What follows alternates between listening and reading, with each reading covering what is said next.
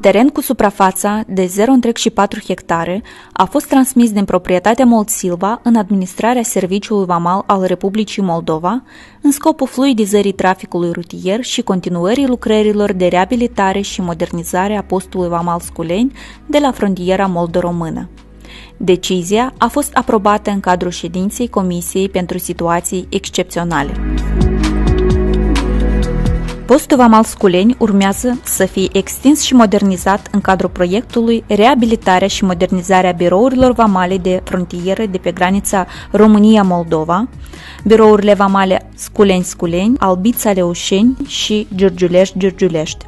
Proiectul, cu o valoare totală de 10 milioane de euro, este finanțat de Uniunea Europeană și cofinanțat de cele două state, Republica Moldova și România.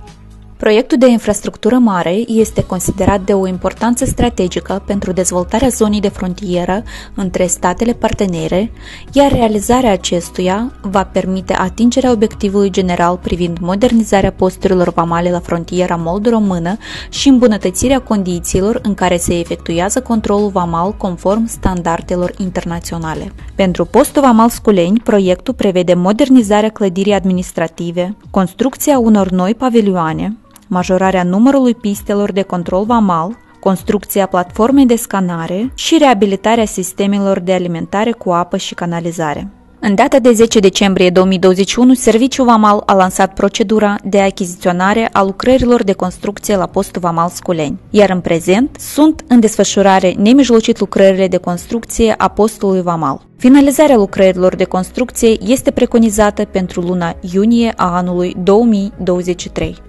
Odată cu renovarea postului Vamal Sculeni, va fi optimizat controlul vamal și fluidizat traficul de mărfuri și pasageri. Vor fi create condiții tehnice optime de efectuare a procedurilor de control vamal. Vor fi îmbunătățite condițiile de lucru pentru funcționarii vamali ce activează nemijlocit în post și vor fi îmbunătățite capacitățile de trecere a frontierei.